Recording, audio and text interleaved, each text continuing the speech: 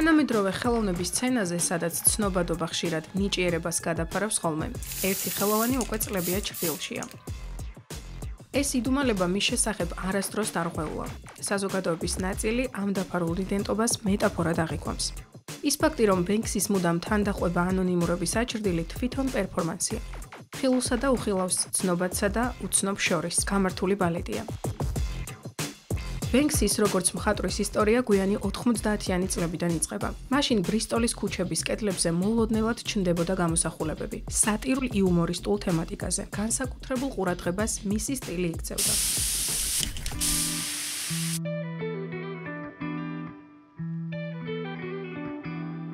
სტრით არტის ჩანასახები ჯერ კიდევ ათასობით წლის წინ გვხვდება.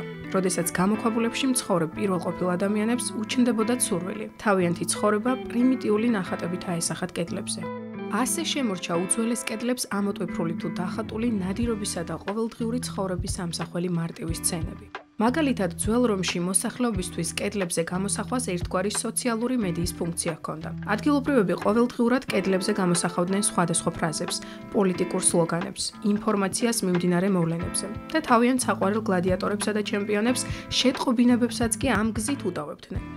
იმ დროინდელ კედლებზე გრაფიტი გამოსახული სლოგანები, პროტესტი და სოციალური თუ პოლიტიკური კომენტარები თანამედროვე სტრით არტის წინამორბედია.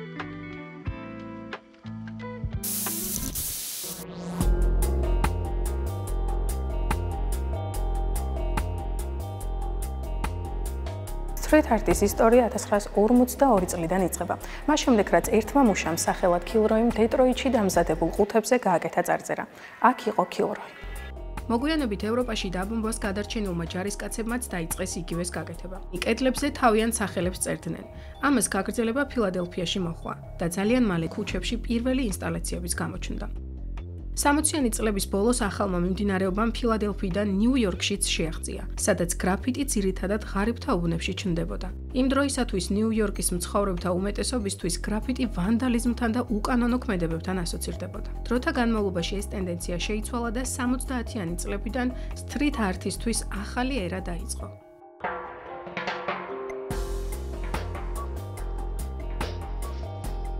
დროის ნებისმიერ პერიოდში სტრით არტის თემები ამოუწურავია, თუმცა ყველაზე ხშირად ის ფოკუსირებული იყო და არის სოციალურ და პოლიტიკურ პროტესტზე.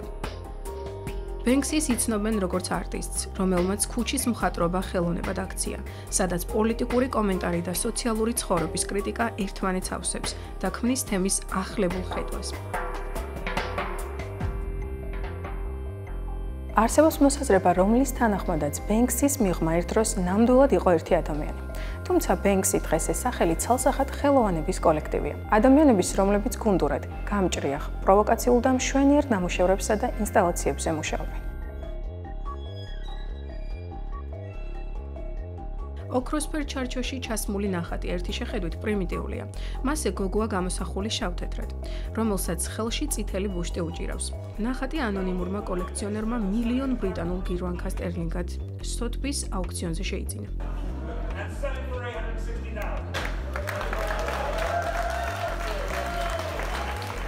გაისმა თუ არა დარბაში ჩაკუჩის ხმა მოლოდნელად სურათი ჩარჩოს ქვემოდან ნახევრად ჩამოიწია და შიგნით წინასწარ დამონტაჟებული შრედერით დაკუცმაცდა.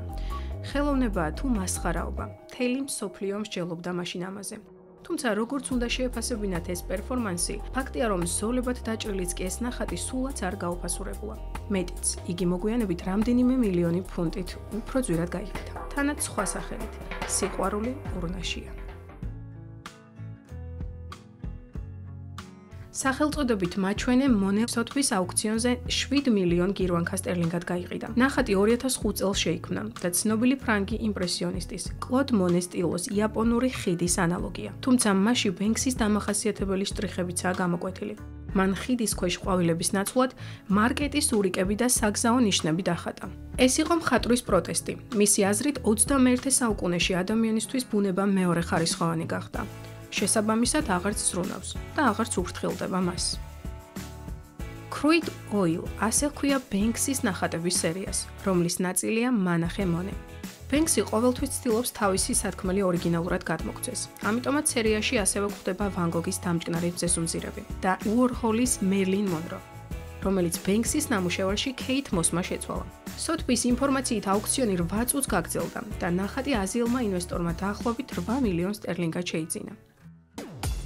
ბენქსის ნამუშევრებიდან სამყაროში ფესკადმული სოციალური უთანასწორობის, პოლიტიკური თუ ემოციური კორუფციისა და მჩაგვრელის სისტემის წინააღმდეგ ხმაური ისმის. ბენქსის ერთ-ერთი ყველაზე ცნობილი სახეა ყვავილის მსროლელი, რომელშიც მე ამბოხე აქციაზე გავარდნილი ახალგაზრდა გახლავთ. მოლოტოვის კოქტეილის ნაცვლად ყვავილებს ისვრის. ბენქსის როგორც აქტივისტის საქმიანობა მხოლოდ გამოსახულებაში არ ირეკლება. მან არაერთხელ დაუჭირა მხარი მოწყვლად ჯგუფებს მასშტაბური დონაციებით. სხვადასხვა დროს დაეხმარა პანდემიით დაზარალებულებს, იარაღით უკანონო ვაჭრობის წინააღმდეგ კამპანიებს, მიგრანტებს და სხვა.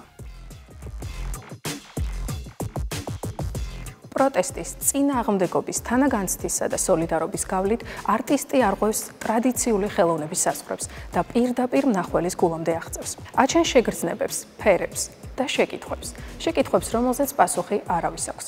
მათ შორის ალბათ არც ბენქსის.